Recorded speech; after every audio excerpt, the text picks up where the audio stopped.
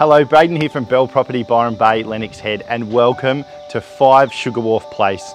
This exceptional and deceptive home has six bedrooms, three bathrooms, parking up to seven cars, and sits on over 1,600 square metres of land. Let's go check it out.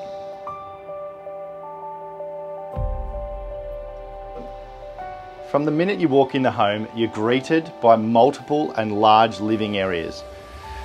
There are also four generous bedrooms all with built-in wardrobes. The master features a luxurious ensuite. And further to that, upstairs, there's an additional teen retreat that has multiple living areas, two more bedrooms, and their own private entertaining terrace. There's a ginormous kitchen that flows through to a dining area, separate media room, and it all opens out onto your own private alfresco area with outdoor kitchen.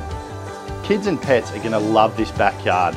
There's a fantastic in-ground pool that's perfect for those summer swims. The parents will enjoy their own private spa and there's also a fire pit area that's great for those cooler evenings with a glass of wine. My favourite thing about this property would have to be the sheer land size.